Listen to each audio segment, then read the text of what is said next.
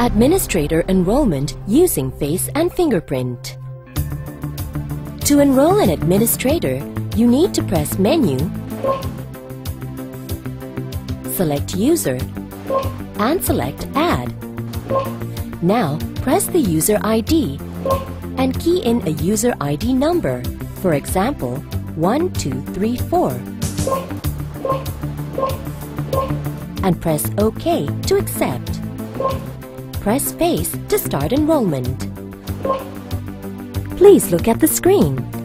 Follow the instructions given by the terminal. Look at the LCD screen of the terminal.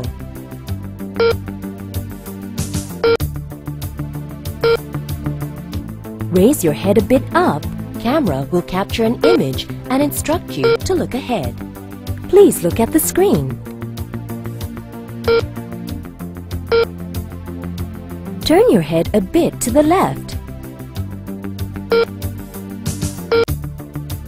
Turn your head a bit to the right. Please look at the camera below screen. Verify. After the face template has been saved into the terminal's memory, you will hear Verified. The screen will then return to the previous menu.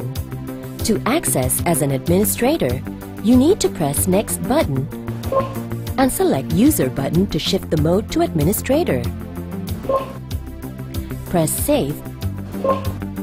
After face enrollment has been done, the terminal will ask you to enroll fingerprint or password as backup verification method. Press OK. You need to select fingerprint and place your finger on the scanner to capture fingerprint image. Remove the finger from the scanner after each capture. Repeat the same process three times with the same finger to complete the process. Press Save to save the settings. The screen will return to the previous menu. Press Menu to return to the main menu. And you can press Exit to exit the main menu. Once an administrator is enrolled into the system, normal user can no longer gain access into the system by pressing the menu button. To access the system, the face of the administrator is required. When an administrator has been enrolled in the system, Admin Affirm will be displayed every time someone touches the menu button.